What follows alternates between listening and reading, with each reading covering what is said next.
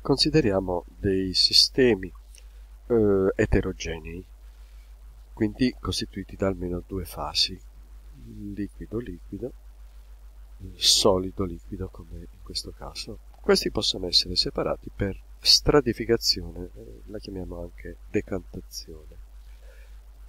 Questo è possibile grazie alla accelerazione eh, di gravità, quindi il campo gravitazionale eh, determina la eh, decantazione a causa della differente densità, quindi la proprietà delle due differenti fasi che ne consente la separazione e la, mh, mm, e la densità hanno differente densità, quello a densità maggiore si deposita sul fondo sotto l'azione dell'accelerazione di gravità.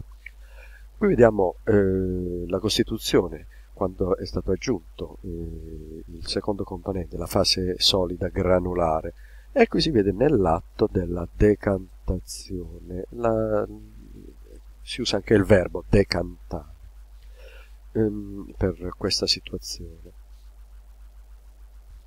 Quando una delle due fasi è solida, eh, viene anche chiamata sedimentazione. Qui vediamo delle grandi, enormi vasche di sedimentazione per il trattamento di acque reflue, ma analoghe eh, sono anche quelle per il trattamento di acque potabili, dove l'acqua, l'acqua di fiume eh, viene eh, lasciata scorrere un determinato tempo in queste vasche e nel mentre scorre, sotto l'azione dell'accelerazione di gravità, le particelle solide presenti sedimentano raccogliendosi sul fondo.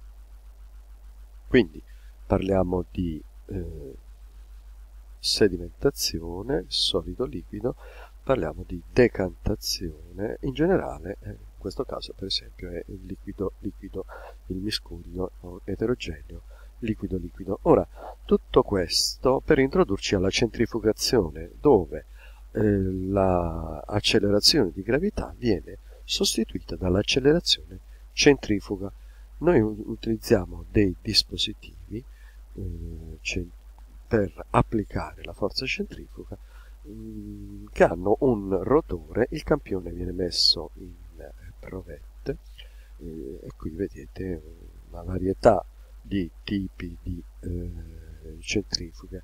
Nella provetta viene messo il miscuglio eterogeneo eh, da separare in base alla differente densità e con eh, la rotazione del rotore viene applicata una eh, forza centrifuga che è crescente, non è costante e fissa come l'accelerazione di gravità, di gravità, ma noi possiamo applicare una velocità molto elevata e quindi una forza centrifuga molto elevata. Questo avrà come effetto la eh, rapidità della eh, separazione. La fase a densità maggiore raggiungerà il fondo della provetta in un tempo eh, molto minore.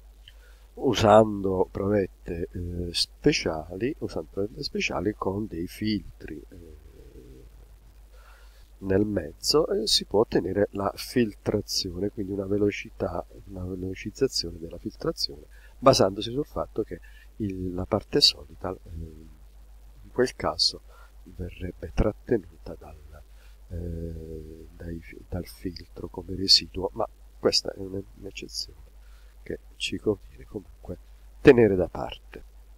In conclusione, la eh, centrifugazione eh, è una esaltazione della decantazione, la l'accelerazione di gravità viene sostituita dall'accelerazione centrifuga eh, utilizzata per separare miscugli eterogenei a densità differente. La eh, parte, eh, la fase liquida eh, a densità minore viene detta surnatante